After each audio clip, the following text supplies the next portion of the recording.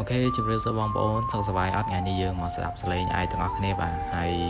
យើងចូលដល់ខែកដកបដាបដាអញ្ចឹងបងប្អូនត្រៀមខ្លែងត្រៀមអាយអីឲ្យទៅតោះយើងស្ដាប់សលេងទាំងអស់គ្នា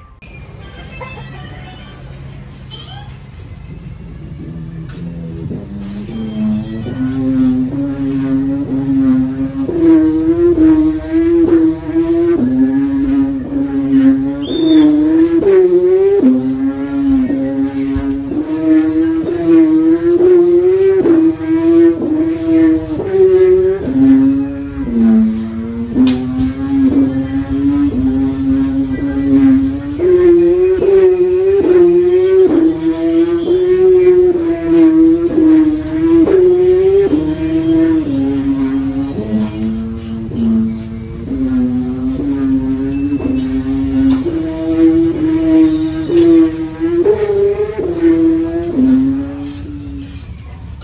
ខេហ្នឹងហើយបងប្អូនហើយអញ្ចឹងយើងចាំជួបគ្នានៅវីដេអូក្រោយទៀត